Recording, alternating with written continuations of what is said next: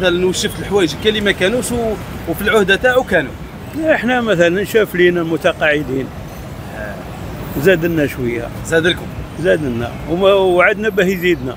وعجبتكم الزيادات هذه؟ لاباس الحمد لله. الله يبارك. قناعة هي كلش.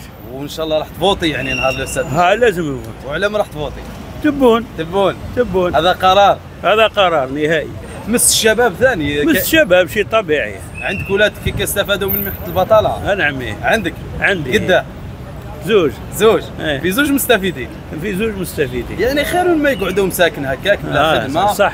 جا جا تبون يعني في مرحلة صغيرة. هكا دار واحد الق- القرارات ودار واحد دار حوايج ملاح حوايج ملاح بزاف. زادوا عندنا باللي ما يزيدش يكون الاستيراد من الخارج تاع القمح كانوا امور تاع المرأة الماكثه في البيت وعد. 목포